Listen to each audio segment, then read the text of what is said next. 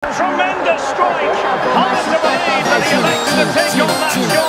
Absolutely brilliant. Well, here it is again, and just look at this.